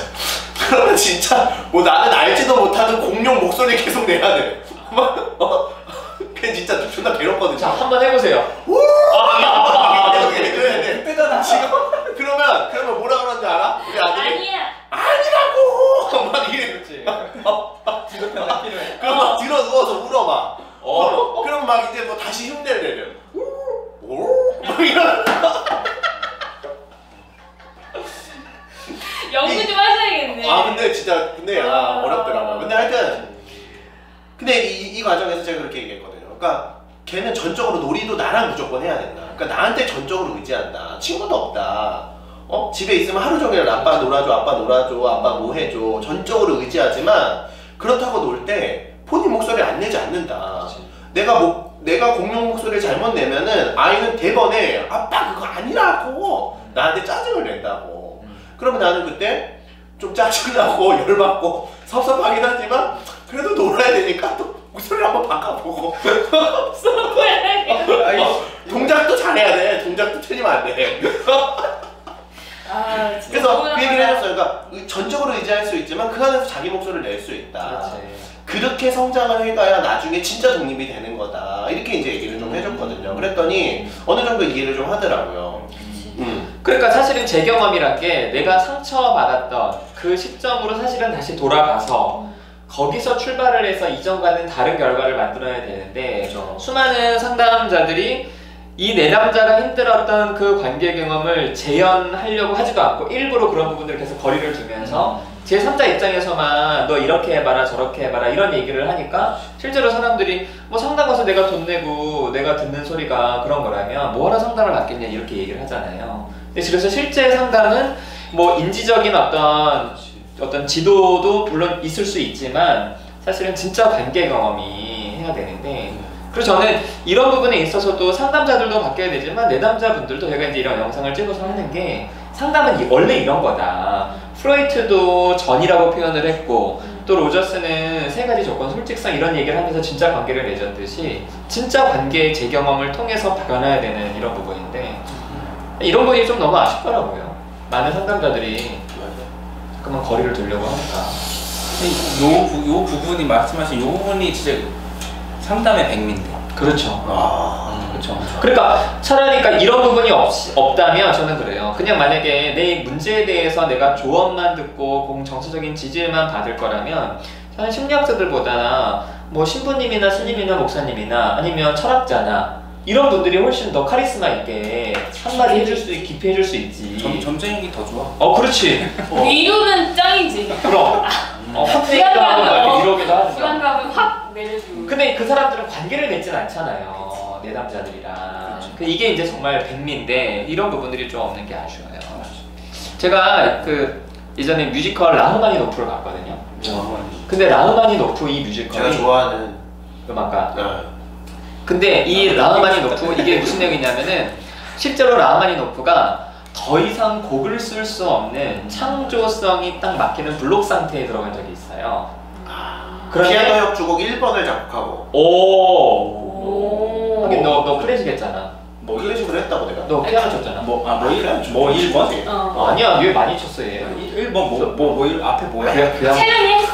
채연이? 야, 얘 백호백까지 했어. 나나 체레니 같은 소리 아, 하고 나 40번. 채연이 40번. 근데 아무튼 근데 이렇게 블록 상태에 딱 들어갔을 때 이제 니콜라이 달이라는 의사가 음. 이 라마노프를 치료해 보겠다면서 어. 이렇게 이제 접근을 한 거예요. 그래서 실제 역사적인 사실도 이 라마니노프가 어디 이제 외딴 곳에 가서 거기 되게 이렇게 했는데 니콜라이 달이 그 옆집에 가서 살았어. 야, 정신과 의사가? 사실 그때는 과가 없었지. 아. 그래서 어. 이몇 개월 동안 근데 이제 그때 썼던 방법은 사실 지금으로 봤을 때는 뭐 그렇게 좋은 뭐 그래 아마 하지만 그러니까 좀 이렇게 암시를 준 거예요. 그때는 이제 최면이 유행했었잖아요. 그래서 어떻게 암시를 줬냐면 당신은 새로운 곡을 쓰게 될 거다. 새로운 곡을 쓰게 되면 관객들이 당신을 사랑해 줄 거다. 이렇게 이제 최면을 통해서 음. 이게 실제로 이 니콜라이 달이 그 샤르코 프로이트가 최면을 배웠던 어, 어. 그 샤르코의 제자기도 했어요. 음. 그래서 옆집에 가서 몇 개월 동안 살면서 그래서 돈을 얼마? 돈은 누가 준 거예요? 이거 아마 이? 라흐마니노프 형인가 이게 아마 줬을 거예요. 아, 근데 라흐마니노프가 엄청 유명한 그때 그 시대의 맞아요. 작곡가였어. 어, 차이콥스키도 되게 인정했던 천재였어 어렸을 때부터. 어. 근데 그래서 이제 결국에는 이제 그닉 라마이노프가 라- 교향곡 2번을 쓰는 거야. 그렇지. 그 가장 유명한. 근데 그거를 어. 니콜라이 달한테 헌정을 했어. 어. 실제로. 그거 몰랐네. 그래서 이걸 보고 찾아봤더니 그래서 자기가 이 상태에서 벗어나게 해줄 그래서 제가 이제 글을 썼는데 결국에는 그 이제 객관적인 어떤 사료에서도 여기에서도 그냥 그런 최면 요법 이런 것 통해서 변화했다고 하지만 제가 봤을 때는 같이 살면서 그렇지. 그게 더 어. 계속 같이 관계를 맺은 거야. 음. 그게 이제 니코, 이 라흐마니노프를 벗어나게 한 어쩌면은 정말 제 양육 음. 이런 거잖아요. 그러니까 그 2번 헌정가 야. 진짜 멋있다. 그러니까 라마니노프가 실패를 한 적이 없어. 맞아요. 아, 근데 그쪽까지는? 그쪽까지는. 어. 근데 협주곡을 작곡한 적이 없었어. 맞아요. 그러니까 비난을 한 거야 사람들이. 너 협주곡 만들면 너 나갈 거야. 주변에서 시선이 이랬거든요. 그때 자기가 해보겠다고 자신감에 차서 협주곡을 만든 거야 1번. 1번은. 근데 그게 망한 거지. 맞아요. 아, 어. 1번은. 그러니까 사실 처음에 좌절을 겪은 거야 라마니노프가 인생에서 그 좌절의 순간을 어찌 보면 같이 해준 거지. 그렇죠. 어. 그래서 계속 그러니까 계속 이제 라미노프가 뮤지컬에서 왔으면 비난했어요. 오지 말아라. 네가 어떻게 날 돕냐. 근데 니콜라의 날이 옆에 딱 살면서 계속 가서 이야기하고 그러면서 이제 결국엔 앞에서 벗어났는데, 그러니까 그래서 제가 하고 싶은 얘기가 사실은 지금의 현실에서 상담자 내담자가 거리를 두는 거는 이게 너무 전문화가 되고 직업화가 되면서 서양에서 이렇게 생긴 거지 원래 프로이트나 로저스나 이 초기에 했던 상담가들은 그 사실은 경계나 이런 것들이 별로 없었던 거예요. 그러니까 진짜 관계 속으로 들어가서 거기서 이렇게 했던 거죠. 우리 안전성 같은 경우도 있는데 좀 그런 게 조금 그, 그 관계가 있을 것 같아요. 거리를 두는 게. 음, 음. 저 사람 모르고도 그렇죠. 저 사람에 대해서 내 남자가 내 남자에 대해서 전혀 모르니까 상담자 입장에서는 상담자 입장에서는 그렇죠. 맞아요. 예, 그리고 또 열어놨는데 또, 또 어디까지 또 다가갈지 모르는 거고 남자 여자 관계 같은 경우에는 음. 근데 그럴 경우에 또 골차 여러 골차 맞아요. 문제가 있으니까 맞아요. 그러니까 아 모르겠어요 어떻게 또 해야 되는지 사실 그래, 그래서 이제 사실은 예. 가장 안전하게만 가는 거예요. 이제 그러면 이제 효과가 전혀 그렇죠, 그렇죠. 네, 그러면 뭐 아무것도 안 하게 되고 참 이러니까 참, 맞아요. 참 이렇게 어려울 것 같아요 맞아요. 상담자가 참 어려운 시골인 것 같아요 그런 게 아니 근데 뭐 삶이 삶이 다 그런 거지. 그렇죠 사람이 또 그렇게 돼요 이렇게 중간에 한마디 씩 하시는데 어. 아니, 되게. 코스모스 보더니 뭐, 야 진짜 무슨 달라졌다 너. 우린 먼지 한 조각도 안 돼. 야, 우주에 대한 너무 생기더니 어, 같이 어, 격이 안 맞아서 제가 감히 이렇게 말을 섞어도 되나 모르겠네. 괜찮아. 우리 같은 먼지니까. 그래서 이제 리첸이 얘기하신 대로 사실은 굉장히 어려운 부분이어서 진짜 이 부분을 어떻게 잘 조화시키고 균형을 잡을 건지가 상담자에서 고민해야 되는 부분인데 주위에서도 좀 약간 그런 부분에 대해서 좀 옆에서 좀 이렇게 보는 사람도 좀 있었으면 좋겠어요. 예를 든다 그러면 뭐 이렇게 그 있다가 갑자기 뭐 털이 할 내담자가 폭발할 수도 있고 네, 그럴 경우가 있을 수 있다고 그렇죠. 보거든요. 그렇죠. 근데 이제 옆에 이제 뭐래도 뭐, 뭐 카메라라도 하나 있다든가 아니면 뭐 모르겠어요. 뭐 펜스 펜스라도 하여튼 뭐 이런 거는 또 어떨까? 아. 예, 그렇죠. 뭐 굉장히 저는 그럴 수 있다고 보거든요. 네. 또두 명이 또 있을 경우가 있고 그렇죠. 상담을 할 때 이제 그런 경우에 과연 그 상담자 입장에서는 자기가 또 순서리를 갖다가 했을 때 내담자가 폭발해가지고 막 이제 그렇죠. 예 그럴 수도 있고 맞아요. 예. 또 중간에 또 약을 갖다 내담자가 갖다가 아우 속상하다고 내 약 좀 먹겠다고 약 먹었는데 또 자빠지고 막 이제 저는 그런 경우가 있을 수 있다고 보거든요. 그게 이건 모르는 거니까. 예 아니, 관계라는 게 실제로 부산에서 네. 어떤 여자 상담자가 음. 자기 남자 내담자한테 납치를 당한 적이 있어요. 어. 그래서 네, 그러니까요. 그래서 이제 이 아주 여자 상담자가 음. 이제 갑자기 태워 타라 그래서 이제 압력 무력으로 이렇게 끌고 가다가 음. 여자 상담자가 잘 말로 해서 이제 도망쳐서 그게 기사가 된 적이 있는데 음. 실제로 실제로 말이 하죠. 음, 그런 일이 있을 수 있죠. 그러니까요. 근데 이제 저는 한편으로는 네. 이제 균형을 잘 잡아야 되기는 하지만 저는 이제 어떤 생각을 했냐면 의사가 환자가 죽을 것 같다고 수술을 겁내하면 안 된다. 어? 그렇죠.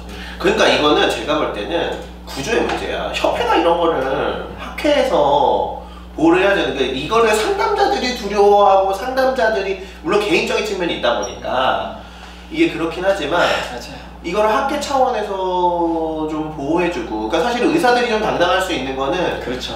그 구소송이 와도 의사 집단이 있거든. 그렇지. 그럼 거기서 자기 뭐- 로비하고 뭐 변호사 비싼 애들 쓰고 이러면 그냥 되는 거야.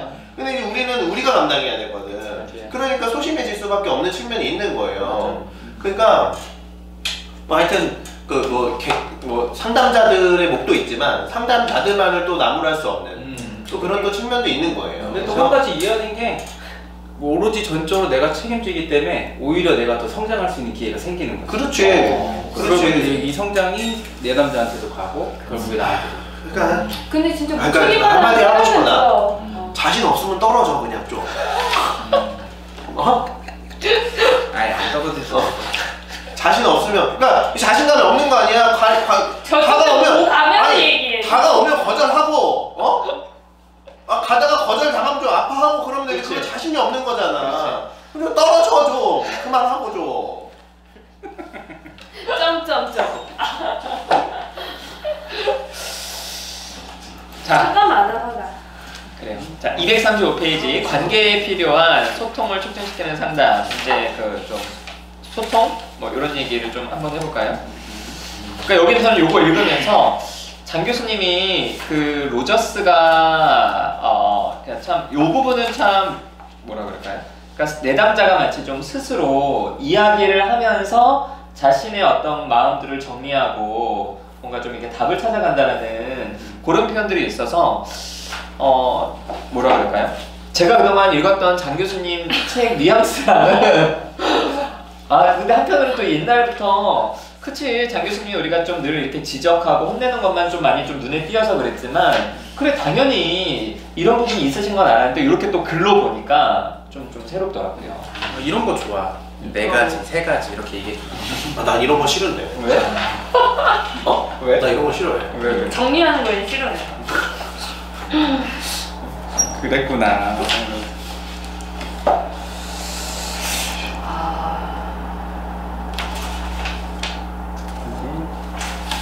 어떤 내용이 그러니까 왠지 난 이런 느낌 있어. 첫세 가지 네 가지 이런 게 있잖아. 그러면 외워야 될 것 같은 느낌이 있어. 공무원 시험 준비하면서 그런 거 아니에요? 저희 그러니까 이게- 그렇진 않거든요. 아 그래? 어. 나는 그런 압박이 있어. 이제 세 가지 네 가지. 어, 세 가지 네 가지? 네 가지 외워야 돼. 막 이거. 그 내가 이래서 시험 못 봤어요. 어 나는 그래 그래. 세 가지 네 가지 보면은 어, 그냥 좋네. 좋네. 넘어가면 그게 나와 시험에. 그러면 뭘 까 도대체 이거 왜 내는 걸까? 이거 모른다고 내 인생이 달라지나?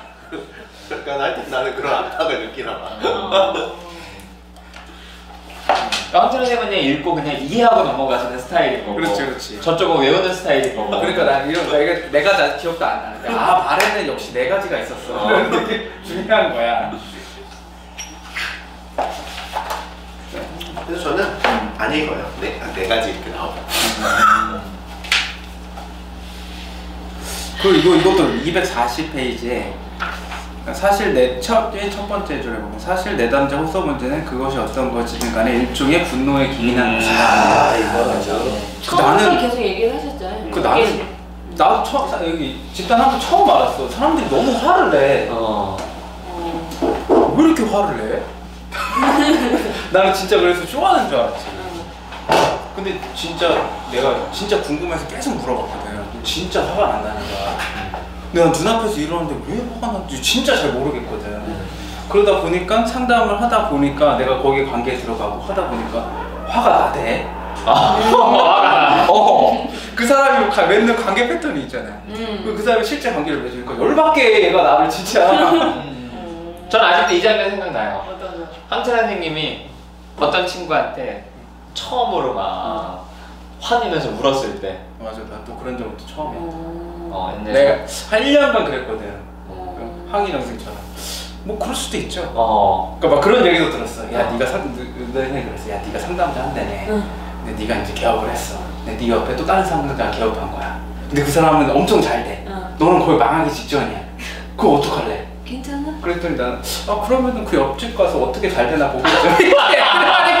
그때부터 포기했어. 아, 이 새끼는 안 될 새끼고. 기발하다. 그래서 아무튼 그때 막 아직 생각이 나요. 그때 제가 이제 황 선생님 보고 그 너무 이제 마음을 전달하면서 막 너무 속상하니까 어떤 집단원이 있었거든요. 맞아, 그래서. 막 음. 울면서 막 이렇게 호소를 하는 그런 거면서 나도 그때 뭉클했잖아요. 그래서 그 다음부터 진단할 거 있으면 와라. 얘가 얘가 적격이구나. 함께 해야 되겠구나 싶었어요. 그래서 이거 그래서 이 분노에 기인한다라는 거를 딱 키를 얻으니까 그때부터 사람들 관계 맺는 게 맞아요. 그렇게 어렵지 않았어. 그러니까 내 남자 누굴 만나든 뭐 여러 가지 얘기를 해도 아, 얘는 분- 여인 열받은 게 있구나. 그럼. 특히 우울한 사람들 만났을 때, 그 저는 좀, 좀 우울한 사람 만나는 게 좀 더 편한 것 같아요. 음. 그러니까 왜냐면 이 사람들은 분명히 화가 나 있는데 그 화를 풀 대상이 없고 그걸 들어줄 사람이 없다라는 걸 갖고 있으니까 이 사람한테 수단과 방법을 가리지 않고 음. 관계를 맺으면 분명히 나한테 화를 낸다. 그렇죠. 그러면은 오히려 더 쉬워 이런 사람들은 관계를 맺는 게. 나는 황철 선생님이 이런 부분이 되게 좋은 것 같아요. 그러니까 이 친구가 되게 관심 없는 부분들이 많다고 느껴지거든요. 근데 그 나머지 부분들에 대해서 되게 무시하는 게 아니라 그냥 관심이 없다가 그 부분에 대해서 좀 이렇게 사람들이 계속 얘기를 하면 그래 네 마음은 어떤 건데 하면서 그걸 들으려고 하고 궁금해하고 막 이렇게 집중하는 게 아 되게 오픈돼 있는 사람이구나 이런 생각이 많이 들어요. 고집이 없고 그래서 돈을 못 버놨다. 맞아. 아, 샌드백이 된다는 뭐 그런 감정은 안 드세요? 네? 감정의 샌드백, 쓰레기통 막 이런 거. 어. 아니 왜냐면 제가 그거 듣고만 있지 않으니까요. 같이 그럼 그럼 같이 던지는 거지 쓰레기.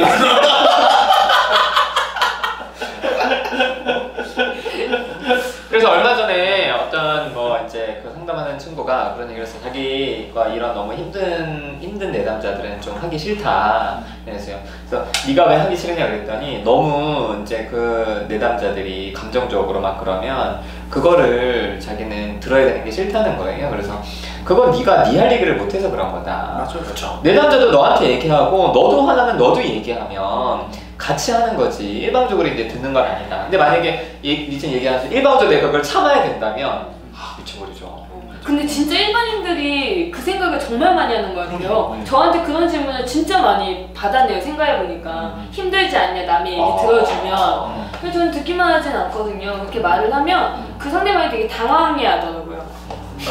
어. 그래서 생각해보니까 아, 그게 일반적인 시선이구나, 상담에 대한 이런 생각이 많이 드네요. 그러니까 이제 상담은. 실제로 이제 관계를 맺고 같이 성장하고 같이 이야기를 하는 건데 사람들은 상담자는 무조건 들어줄 거다라고만 생각을 하니까 이제 그런 얘기를 하고 근데 그런 것 때문에 그런 생각하시는 분들이 저희 누선생 센터에 오시면 싫어하시죠. 그렇지 당황하지. 상담자들이 뭐라 하니까 얘네 왜 이래? 어 그냥 너는 내 얘기를 들어줘야 되는데. 어. 근데 저는 정말 당황스러웠던 게 들어달라고 해서 들어줬는데 그것도 불편해하니까. 그럼. 들어줬다고 들어준 것 같았는데 되게 뭐라 했다고 하니까. 왜냐면 박 선생님은 표정에서 표정이 뭐라 해. 근데 이게 아이러니한 게 들어달래요, 들어주세요라고 말하는 사람들은 사실 말하고 싶은 마음이 없는 사람들이에요. 어. 그러니까 같이 관계를 얘기를 해요. 그렇지. 같이 얘기를 해요라고 얘기를 했을 때 사실은 들을 마음도 있고 말할 마음도 있는 건데 들어주세요라고 말하는 사람들은 사실 자기 얘기를 할 마음이 없, 없어요. 기본적으로. 그렇기 때문에 불편할 수밖에 없죠. 들어주기만 하더라도 본인 얘기를 본인이 본인 얘기로 채울 수가 없으니까. 음. 저도 이제 예전에 그 그런 일이 좀 있었어요. 이렇게 같이 얘기해. 무슨 얘기? 아니 책을 안 읽었다고. 어, 어서 좀 얘기 좀 하세요. 그러니까 그거 봐 200페이지가 채 안 되는데도 이게 힘들어해. 힘들어. 아니 아유, 아니 책을 두고 가셔가지고. 집에 놀래가지고 제가 새벽같이 달려왔죠. 아, 그래, 그래. 같이 이렇게 사람들이랑 있으면 있어도 이제 같이 이렇게 뭐 얘기를 해요. 그러면 제가 사실은 이제 친구가 오랫동안 별로 없었으니까 이렇게 말을 하는 게 좀 힘들었거든. 고맙죠 우리가. 아, 그럼 고맙지. 그럼. 내가 그러니까 이렇게 같이 하잖아. 어. 근데 얘기를 하다가 지겨워 진짜. 얘기를 하다가 내가 이제 무슨 얘기를 하면은 갑자기 그 중에 한명 어떤 애가 울어. 놀랬겠다. 그럼 나는 그 장면 내 책에 있는데 그거 하나 들었어. 그래서 어. 그러면 또 어떤 애들한테 눈치를 줘. 그거 나 모르겠는 거야. 공간 능력이 떨어졌던 웃겨. 거지. 어. 너 혼자 지내다 보니까. 그러니까 근데 그런 일이 좀 여러 번 있었거든. 그러니까. 그래서 나는 도대체 왜 그러지? 근데 이제 야 왜 그래 이렇게 나중에 물어보면은 애들이 얘기를 잘 모르겠는 거야. 근데 아, 잘안 알려줘. 그 지들도 모르는 것 같아. 내가 감정적으로 보면 아는 거지. 그치. 야뭐 불도모트 같은 거야. 야, 그런 거는 야야 그거 알아서 하는 거야. 막 이런 느낌이잖아. 근데 이제 집단을 하면서 이렇게 피드백을 받으니까 아 내 말이 내 의도는 아니지만 이렇게 이제 이럴 수도 있구나. 그래 맞아 맞아. 라고 하면서 진짜 많이 저도 언어적인 부분 그래서 뭐야 대화 연습에 대한 최적지 음. 음. 최적지를 많이 경험을 한 것 같아요. 그래서 요즘엔 안 울더라고 사람들이 화를 내지. 아, 저도 그렇죠. 저도 저도 집단에서 예. 한뭐 여러 번 되죠. 아, 그래? 네. 근데 나도 원래 얘기하면 잘 울었거든. 근데 요새 잘안 울어. 사람들이 나, 나, 나, 나. 아, 나도 할만하고 어. 할만하고 감정 나누고 적절하게 맺으니까 울 일이 없어. 아니 우는 것도 적절하게 오셨어요 어, 지난주에. 맞아. 어, 맞아. 그 진짜 어 감동이었죠. 어. 나 깜짝 놀랐어 나도. 누가 그랬지? 뭐가 동영상을 보려다가 하우철 선생님이 우는 모습 보고 하, 껐다고. 누가 그랬는데. 어. 주- 좋아하는 사람인 거야. 아, 네, 내 남자가 그래. 아 그래? 동영상 보다가 누가 울고 있길래 꺼버렸네. 반가워요 저예요. 지금 안 울어요? 그래 맞아 이것도 좋았어. 나 어. 242페이지에 말에도 위계가 있다. 음, 아 그래 그래 맞아요 어. 맞아. 눈물에도 질서가 있다고 그런 얘기도 하셨었는데. 그래 그래? 아, 눈물에 질서가 어. 있어? 어 디? 그러니까- 책에서? 아 여기는 다른 책이에요? 어, 딱 이렇게 그냥 들었나 하여간 교수님이. 아, 이렇게 이렇게 얘기하면 얼마나 설득력이 있어. 질서가. 눈물의 질서가 뭐야? 그러니까 아무 때나 우는 게 아니다. 그러니까 어. 아까처럼 그냥 할 말 못하고 사람들은 그냥 뭐 얘기하다 보면 그냥 막 아무 데서나 울고 그러는데 그 나는 이게 그러니까 첫 번째, 두 번째 에, 이런 얘기 나 해본 적이 없어 살면서 사교적인 말, 뭐 연예인 이야기. 그럼 무슨 말을 하셨어요? 나는 안 친한 사람들이. 나 있다. 아니 아니 그러니까 일, 일단은 친해진 사람 일단 여자들이지. 여자들 어. 여자들은 무슨 얘기를 해도 일단 들어주거든. 어. 그래서 그러면 난 가서 이런 얘기하는 거지. 아까 아까 같이 야 코스모스 봤어? 진짜 고마워해라 친구들한테. 막 이러면서 막 이런 얘기를 하면은 이게 또 이제 또 갈려 또 지루해하는 사람 있고 어. 이제 맞장구 쳐주는 사람 있어. 아까 말에 질서가 있다가 몇째 줄에 있어요? 이게 그거 242페이지 네, 몇째 맨 밑에서 밑에서 다섯 번째 줄 말에도 위계적인 차원이 있다. 뭐, 아, 예, 있네요. 아, 예. 좀, 좀 얘기해 주시면 음, 좋을 것 같아요. 아니 그래서 예, 저는 이제 세 아, 번째처럼 말해도 어. 그냥 이제 보통 이런 얘기를 주로 했지 사람들이랑 그리고 나는 그래서 사실 여자친구가 그렇게 필요하진 않았어 어. 그래서 이제 내 이상형도 이런 사람 그러니까 좀 어. 이렇게 말이 통하는 사람 어. 근데 세상에 그런 사람이 없더라고 어.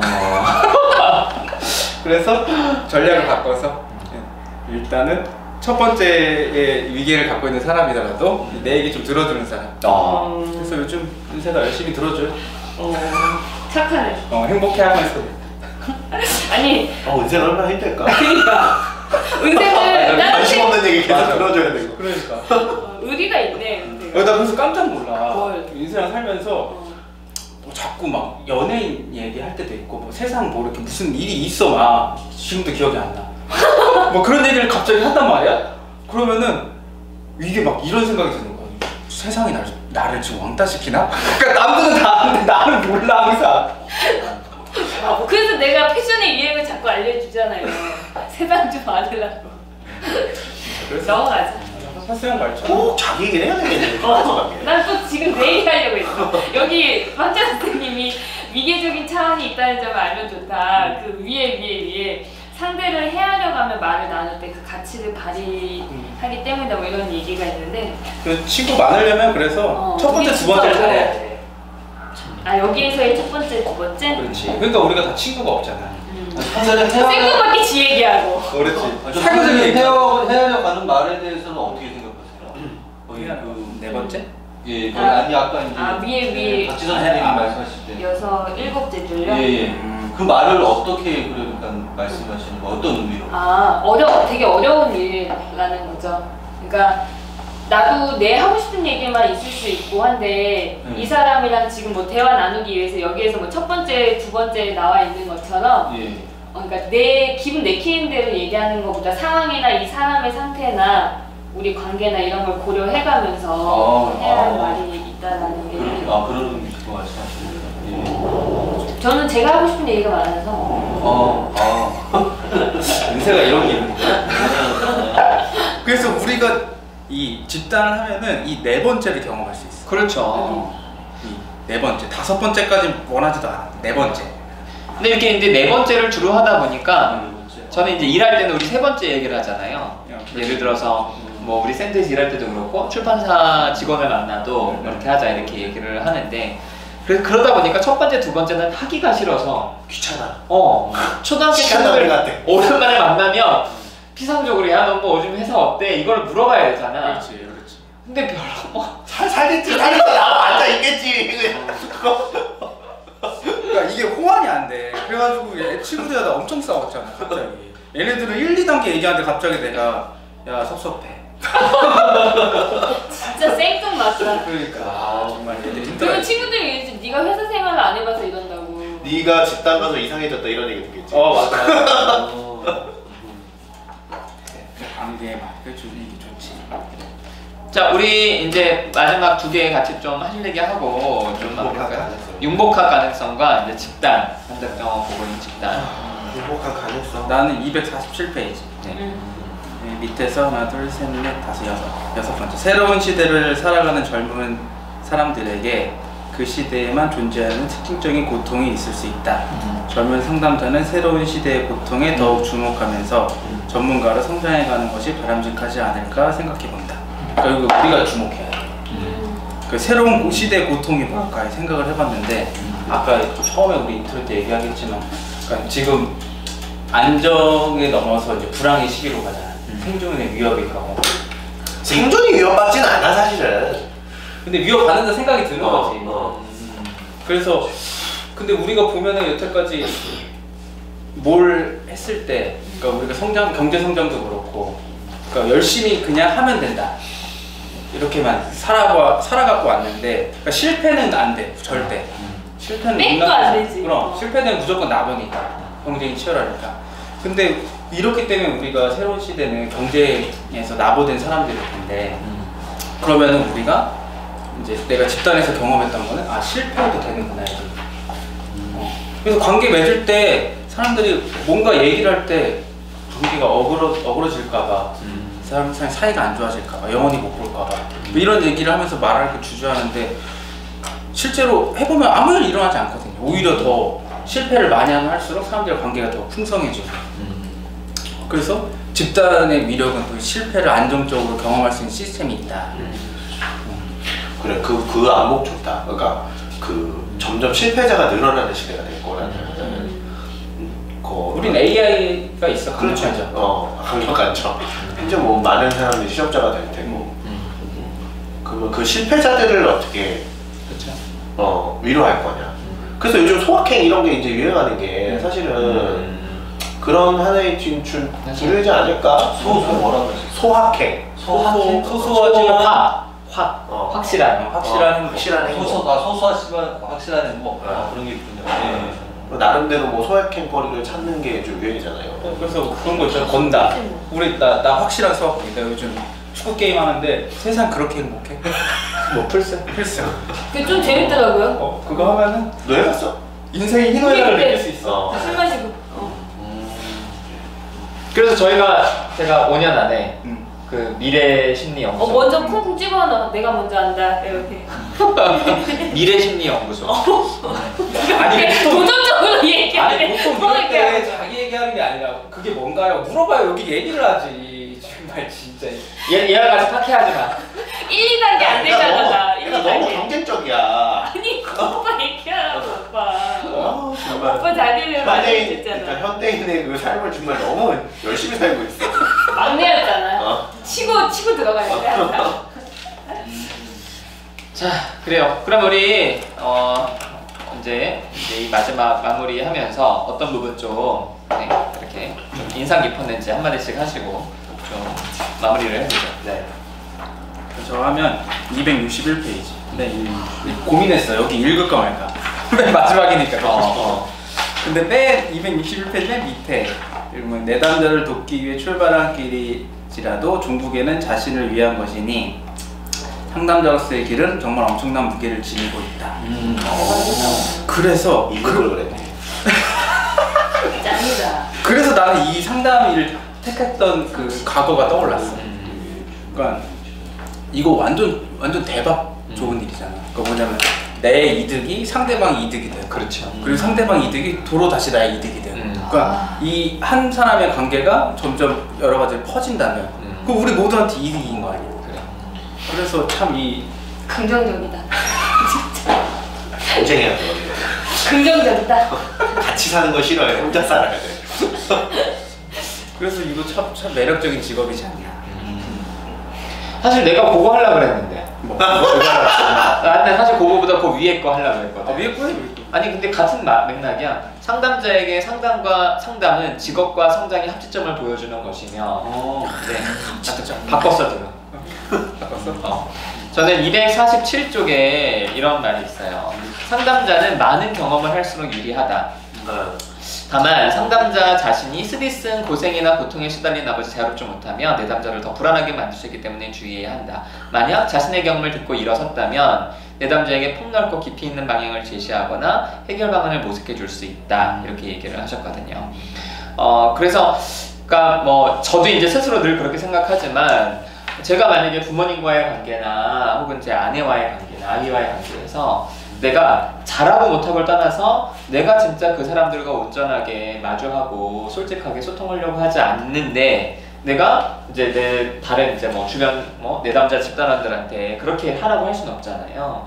그래서 사실은 상담자는 그렇게 하라고 해도 돼. 근데 이제 마음이 불편하지. 마음이 불편하지. 어. 그렇지. 그래서 이제 우리는 사실은 진짜 어, 제대로 된 상담자가 된다는 거는 상담자 자신이 먼저 자신이 경험한 것들에 대해서 딛고 일어서는 그런 과정과 방향성이 너무 중요하다. 어? 근데 정말 수많은 상담자들이 그런 부분에 대해서는 너무 많이 밀어놓고 그저 상담자로서의 역할과 기능만 하려는 게 조금 안타깝고 또 다시 한번 이걸 읽으면서 다시 제가 어, 관계 속에서 제 삶 속에서 정말 나는 그런 내가 할 수 있는 그런 관계들과 경험들을 나는 어떻게 마주하고 있나 다시 한번 좀 생각해 봐야겠다 이렇게 좀 그리고 여기 덧붙이면 그때도 얘기하긴 했지만 아이슬 신잡에 음. 그 이제 아테네 갔거든. 음. 근데 거기서 이제 소크라테스 얘기 나왔는데 그 설득시키는 게 세 가지가 있대. 음. 처음에 논리, 음. 두 번째는 감정, 음. 세 번째는 이제 일치되는 삶. 어, 근데 우리가 보면은 처음에 관계를 맺을 때 설득을 시켜야 되잖아. 그렇죠 그럼 우리가 일치가 돼야 돼. 그렇지 그렇지 말과 행동과 마음이. 그렇지 그러면 사람이 그거에 대해서 감화가 되지. 그렇지 그러니까 우리는 어쩔 수 없이 이제 여기 지금 그 얘기 바로 어. 본인 한 거 위에 있잖아 어, 그래. 그 261페이지 상담자가 성현들처럼 어느 수준에 이르렀으면 그가 하는 말은 감화력을 발휘한다 그렇지, 그렇지. 근데 이 어느 수준이라는 게 사실은 그쵸, 어떤 도덕적인 가치나 이런 것보다도 솔직한 거 음. 진짜 음. 생각과 행동이 일치되는 거 이런 부분이 이렇게 다 일맥상통할 수 있나? 그럼 여기 이제 표본들이 있잖아요. 딱. 제가 저는 이제 250페이지인데 그러니까 비슷한 거예요. 250페이지 이제 마지막 단을 첫 번째 표현을 보면은 50페이지? 250페이지.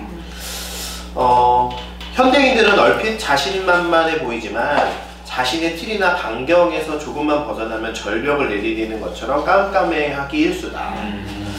한정된 범위 내에서만 당당했지 그 범위 밖에서는 그야말로 바보다. 어 이제 이렇게 이제 표현을 하고 계시는데, 그러니까 아까 이제 홍찬 선생님이 그런 얘기했잖아요. 점점 실패자가 많아지는 세상이 될 거다. 점점 좌절하는 삶을, 그러니까 좌절이 인생의 거의, 그러니까 이전 삶은 인간들이 무언가를 계속 개척해내고 거기서 성취감을 얻었던 생산이 생산이 보장됐던 사회라면 앞으로의 삶은 생산이 무언가를 보장해 주진 않을 거예요. 생산은 AI가 하고 인간이 할 수 있는 일은 그걸 코딩하는 일이야. 그러면 나머지 대부분의 코딩자를 벗어난 나머지 대부분의 사람들은 이제 실패자로 규정이 될 거예요. 지금 체제. 그러면 그 실패자들이 무엇을 할 것인가를 상담자들이 고민해야 돼요. 그리고 지금 저희가 많이 이제 상담에서 다루게 되는 것들도 사실은 좌절한 사람들을 어떻게 다시 일으킬 수 있는가 이거를 많이들 고민하게 되는 거 거든요. 그런데 상담자들이 실패해보지 않을, 않는 삶을 살, 살아가. 이래, 이랬다는 건, 그 내담자들한테 가르쳐 줄 수 있는 게 결국에는 너 실패하면 뒤져. 실패하면 안 돼. 이것만 가르칠 수밖에 없는 거예요. 그러니까 상담자들이 진짜 해야 되는 건 본인이 좌절하고 실패하고 본인이 아웃사이더 같지만 본인의 삶을 자기 목소리 내고 살아가는 거. 이걸 보여주는 거예요. 그래서 그 어, 누나 선생님이 얘기했던 경험이라던가 여기서 얘기했던 좌절의 경험들. 그거를 그 속에서 상담자가 살고 있는 것. 그렇게 해도 괜찮다는 걸 보여주는 삶을 살고 있는 것. 그거를 저희가 보여줘야 되는 거예요. 근데 많은 상담자들이 실패하지 않으려고.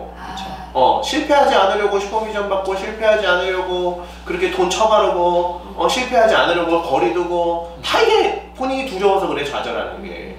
근데 이거를 이거- 맞닥뜨려야 되는 거죠. 그죠? 그래서 저는 상담자들이 그, 그 저는 그런 표현을 하거든요. 그러니까 집단에서도 상담을 하러 오겠다는 사람들인데 자꾸 관계에 들어오지는 않고 이렇게 그냥 피드백만 하시는 분들이 있어요. 그럼 저는 그렇게 얘기해요. 너 상담자 하면 너 상담자 못해.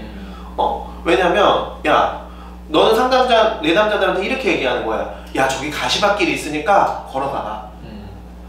저 끝에는 좋은 게 있을 거야. 이렇게 얘기하는 거라고. 야, 네가 상담자가 되고 싶으면 네가 가시밭으로 먼저 들어가. 그래서 네가 피 흘리는 걸 보여줘. 그러고 나서 야 여기 와서 그래도 괜찮아. 같이 내려와 볼래? 이렇게 얘기를 해야 상담자지. 어? 야 저기 가시밭길 있으니까 저길 지나고 나면 좋은 게 있을 거야. 가봐. 이게 무슨 상담자냐고. 제가 이렇게 얘기를 하거든요. 그래서 근데 상담자들이 그걸 할 수 있어야 돼요. 본인이 피 흘리는 걸 보여줘야 돼.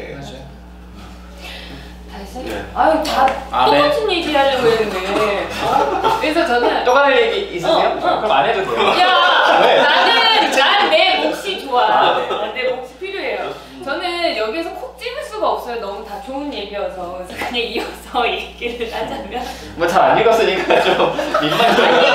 아니요 너무 다 좋아서 어떻게, 하나만 지금 배신자야 자기도 안 읽어놓고 그래서 나 눈을. 막 좋았어 아니 그래서 저도 같은 좀 맥락에서 계속 우리가 상담자가 관계를 경험을 시켜줘야 된다. 그리고 상담자의 그런 뭐 일치성을 얘기하잖아요. 그래서 초보 처음 상담을 시작하려고 하는 사람들이 부담스러워하는 부분이 그거 얘기도 해요. 내가 관계를 제대로 못하는데 아니면 내가 뭐 그 사람한테 내가 잘 살고 있는 사람이 아닌데 상담을 할 수 있을까? 내가 그런 자격이 될까? 이런 것들도 되게 운운을 많이 해요. 그래서 저는 그 세 분 선생님들이 얘기하신 것처럼 잘난 모습을 보여주는 게 아니라 내담자가 겪을 만한 왜 우리 그런 거 있잖아요. 내가 이제까지 살아왔던 방식 말고 어떻게 살라는 거냐. 그러니까 내담자들이 그 다르게 살아야 될 때 그 막막함이 되게 무서운 거잖아요. 근데 그 이미 앞길을 내 눈앞에서 누군가가 살아가고 있는 모습이 보인다면 그걸로도 길라잡이를 몸소 보여주는 거니까 그래서 내담자들도 아 저렇게 살아도 괜찮구나라는 걸 알 수 있게끔 해주는 것 같아요. 그래서 저도 집단을 하다 보면은 제가 뭐 막 잘나서 뭔가 얘기해주고 분석해주고 관계 얘기해주고 이거보다 집단 자체가 위기를 겪었을 때이그 리더가 어떻게 자세를 취하는지가 이 집단 원들한테 미치는 영향력이 굉장히 다르구나 이런 생각이 들더라고요. 오히려 보- 내가 내가 알아서 다 처리할 수 있어. 이거 괜찮은 거야. 별일 아닌 거야. 하면서 되게 센 척을 하면 내- 그 집단원들이 오히려 소외감을 느끼고 음. 어 저거 힘들 건데 왜 거짓말하지? 왜 편안하게 얘기하지 못하지? 왜 나한테 의지하지 못하지? 이러는데 그 상황에서 좀 위기가 왔을 때 같이 고민하고 힘들어하고 마음을 나누면은 그때 본인들도 아 좀 뭐라 그럴까요? 음, 이 상황을 우리가 다 같이 이겨낼 수 있는 거구나. 본인들도 그 역할, 몫이 있다라는 걸 느끼게 돼서 좀더 뭐라고 참 결론이 약해. 빨리 마, 마, 마 무리 한마디를 해. 아니야. 그러니까 지금 내가 약해졌어. 그래서 상황에서 내가 얘기하고 싶은 게너 있었는데 원래 약했어. 빨리 마무리를 지어. 얘기하고 싶은 게 일단 있었는데 끝내면 그러니까 그랬을 때, 아, 아니 그랬을 때, 어, 내가 오히려 그때 힘들다는 걸 보여주면 당황해야 하는 것처럼 느끼지 않고 이거 별일이 아니구나 헤쳐갈 수 있는 일이구나 라고 생각을 해서 거기에서 더 믿음이 생기는 것 같기도 하더라고요. 안녕하세요, 끝내. 여기까지 하면 돼. 네, 안녕히 계세요. 자, 자요, 어, 그런데. 네. 저는 226페이지 그 고대에서 18세기 초 이제 여기 역사 나오잖아요. 네네. 그리고 여기서 보면 1897년에 확립됐다 이제 이 부분 전체를 저는 말씀드리고 싶은데 저기 여기서 저는 근데 이거 읽으면서 그 자장 치료라고 있더라고요. 네네. 별과 연결시키는 자장력 이제 이쯤에서 인터넷 검색해 보니까 근데 이런 게 안 나오고 무슨 자석 가지고 치료하고 뭐 이런 얘기가 나와가지고 근데 이런, 이런 게 좀 이제 좀 약- 이거 보고 좀 재밌었어요. 내가 좀 직접 호기심이 좀 약간 있어가지고 상담이 이제 이런 식으로 이제 변해됐구나 이제 이런 게 하나 있었고 그다음에 밑에 이제 최면 치료 이제 나왔잖아요. 네. 근데 거기 보면 무의식에 대한 얘기가 나오는데 경험 때문이 아니라 이제 무의식화된 기억이 이제 그, 그 증상을 계속 체면 치료를 했는데 저 무의식을 저는 프로이드가 저는 거기 그 제일 처음에 이제 그걸 해가지고 그래서 아 그 사람 되게 위, 위대한 사람이구나 어떻게 그런 걸 알게 되었을까 이런 생각했었는데 예전에 있었구나 이제 이런 생각이 들어가지고 약간 놀라웠고 네. 그다음에 이제 그 1897년에 이제 심리치료 원리 정신분석 혼입인데 여기서 이제 프로이드가 백일공이랑 이제 용납할 수 없는 용, 소망 이제 이런 것도 포함됐다고 해가지고 그 뭐라 그러지 증상시킨 이유인가 경험 말고 이제 다른 부분도 있다 이렇게 하나하나 짚어준 게 거기 이제 저는 근데 좀 이런 게 그전에 이제 보지 못했던 내용이라서 어. 예, 이렇게 좀 이렇게 정말 참 명쾌하거든요. 굉장히 명쾌해요. 이렇게 한마디로 이제 저번에 다른 장에서도 보면 네. 정신 분석이 이제 그거에서 왜 어떤 그 생각에서 딱 나왔다 보면 그 경험을 갖다 원인을 알면 원인을 알면 행동이 바뀐다 이런 전제에서 나왔다는데 그건 전제거든요 말 그대로 전제 아니냐 그게 그 식으로 보면 이렇게 하나하나 설명해 주신 게 그, 저는 그 굉장히 좋았어요 예, 이 부분이 예, 네. 다른 부분도 좋았는데 네. 많이 말씀하셔가지고 그래요? 예, 말씀 안 하신 부분 얘기했어요 예. 감사합니다. 저희 이제 오늘로 요 심리 상담의 화실은 끝나고요. 그다음 저희 이제 스터디 책은 나와 책안 가졌어? 너. 나와 너 네, 나와 너. 마틴 부버의 나와 너. 그러고 가지고 다시 하겠습니다. 어쨌든 뭐 그 책이 좀 어렵기도 하고 또 저희가 이제 집단에서 계속 상담에서 얘기하는 그런 대상화 이런 부분과 연관이 되어 있는 부분이라서 그 책을 선정했고요. 네, 아무튼 영상으로 이 4주 동안 함께 해 주셔서 감사합니다. 오늘 스터디 여기서 마치겠습니다. 수고하셨습니다.